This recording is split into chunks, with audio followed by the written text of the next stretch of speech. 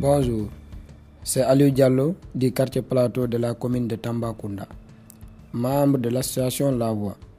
J'ai assisté à une formation sur le paludisme au conseil départemental de Tambacounda.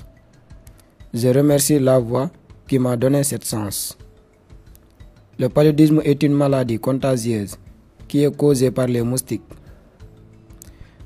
On a déroulé les activités comme visite à domicile, entrée de maison en maison et les sensibiliser, causerie, appeler une vingtaine de personnes pour les sensibiliser aux thèmes concernant le débat.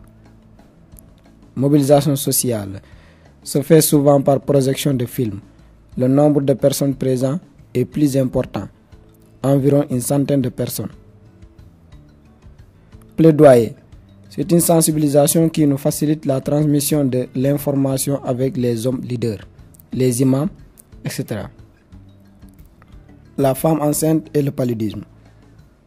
Le paludisme chez la femme enceinte est très grave. Sa vie et celle de son bébé sont en danger. C'est la femme enceinte, il est appelé palygrave parce qu'il ne peut se soigner qu'à l'hôpital.